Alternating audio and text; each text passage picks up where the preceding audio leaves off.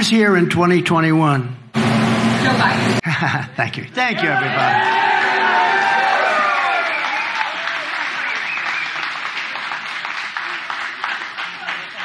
Women living in the suburbs, I keep hearing about the suburban woman doesn't like Trump. Well, I think it's a fake poll because why would they like me? I'm going I keep the suburbs safe. I stopped low income towers from rising right alongside of their house, and I'm keeping the illegal aliens away from the suburbs. I think that they like me a lot. I think it's a lot of fake polls. We've seen a lot of fake polls over the years. I was not supposed to. Women want to have safety. They want to have a strong military. They want to have a strong police force. They want to be in their house and they want to be safe. They don't want to be have people pouring into their doors and you can't do anything about it, right? I hope they like my personality. I have a nice personality, but to me, it wouldn't be very important. The personality. They want to be. Uh, they want to be safe. And they want people like this happy, and they want people like this taken care of properly because those are the people that keep them safe. So we'll shut down all deadly sanctuary cities throughout the country. Because all they do is they shield criminals. I mean, they basically shield criminals from prosecution. I will shift massive portions of federal law enforcement to immigration enforcement. We're going to put a lot of immigration enforcement. We're going to close down the border day one. Just so you understand, I am not a radical at all. I'm just a common sense person that was successful in what I did because of the same thing. And we want people to come into our country. A lot of people. We need them. We need them for jobs.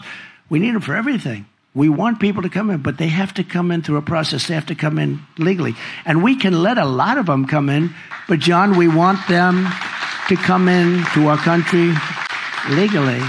On day one, we will begin the largest domestic deportation operation in the history of our country. Big every auto worker here will be out of a job within three years if I'm not elected. Every auto worker in the state, they're all going to be made in China. They're going to an all electric policy. Well, we have more liquid gold under our feet than any country in the world, but we don't have for what you need for an electric car. But China does, and its territories do. And uh, we're not going to let it happen. But they're building some of the biggest plants. And I have a friend who builds plants. He said some of the biggest in the world, I think he's doing them, are being built in Mexico. And they're going to sell cars produce them and sell them in this country with no tax. It's not going to happen. And I told him, I said, you better hope I don't win. Always dangerous to say these things. Maybe that's why I get shot at and other people don't. Right, John James? That's probably why I get shot at. Other people, they, they'll protect other people because they can't believe they got so lucky. But I have to do what I have to do. I have to do the right thing. We have criminals from all over the world pouring into our country right now. Your job will never be obsolete. You know, it will never be obsolete. Unfortunately, it'd be nice if we could have peace, but we're not going to have peace. And this is something we're going to have to live with for a long time. She has allowed millions of people, open border, to flow into our country totally unchecked, totally unvetted. And they come from jails and prisons, slightly different. They come from mental institutions all over the world. This isn't just in South America. People think it's South America. It's from Africa, Asia, the Middle East. A lot of people coming from the Congo in Africa, the Congo. Rough, rough, rough. And they're uh, prisoners. They're prisoners. And we say, Where do you come from? Africa. Where in Africa? Prison. What did you do? We don't want to say. You know, they like to talk. It's all nonsense that Donald Trump stopped a bill. I was opposed to it, so was everyone else. It was the weakest bill. Under that bill, millions of people would have been allowed to come in. This was a weak bill. But you didn't need a bill.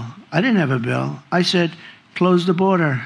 And that's how we got to those numbers, the lowest ever recorded. I said, close the border. I didn't have a bill. I didn't need a bill. She doesn't need a bill.